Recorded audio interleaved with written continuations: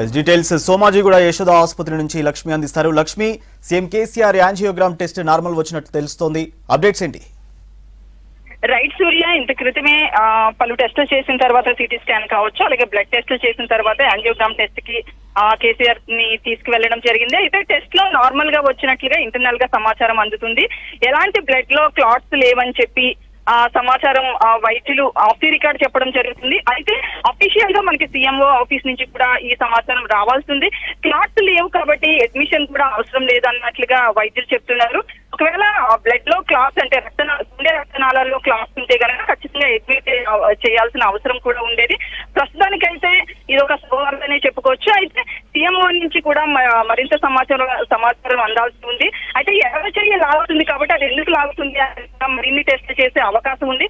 ప్రస్తుతానికైతే blood test కూడా ఈ రోజు ఏవైతే బ్లడ్ టెస్ట్ చేస్తారో అవి ఒక అరగంట గంట లోపలనే కొన్ని టెస్టులు రిపోర్ట్స్ వస్తాయి. అవి కూడా నార్మల్గా ఉన్నాయి అని చెప్తున్నారు. అలాగే సిటీ స్కాన్ కూడా నార్మల్. అయితే సీఎం నుంచి మాత్రం అధికారికంగా మరింత సమాచారం అందాల్సింది Surya. Right thank you Lakshmi